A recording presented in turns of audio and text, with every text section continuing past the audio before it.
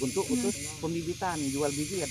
Nah, tahapannya tahapan pembibitan pertama, kedua tahapan pendederan, ketiga tahapan agrobisnisnya penjualan kan penjualan bibit setelah umur dua minggu ukuran lele satu dua lepaskan ke sini kalau dalam orang sampai ukuran 34 atau 23 Hmm.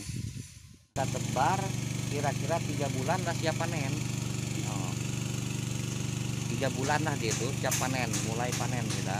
Ukuran 67 nah, untuk pecel lele kita tebar dari ukuran 34 atau 23 tadi. Setelah tiga bulan ukurannya beda-beda. Nah, memang macam tuh ada besar kecil besar kecil lah. Yang yang kecil kita pisahkan yang besar kita pisahkan. Nah yang besar lah yang siap jual kita jual. Nah, yang kecil kelak tunggu.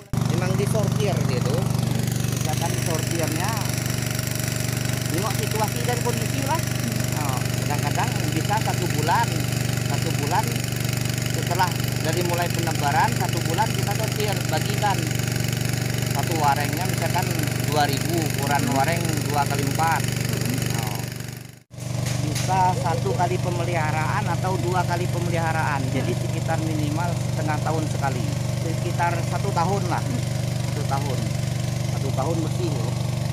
Nah bagusnya setiap kali panen bersih setiap kali panen setiap selesai panen kira-kira sekitar habisnya empat bulan atau empat bulan setengah bersih kolam tebar bibit baru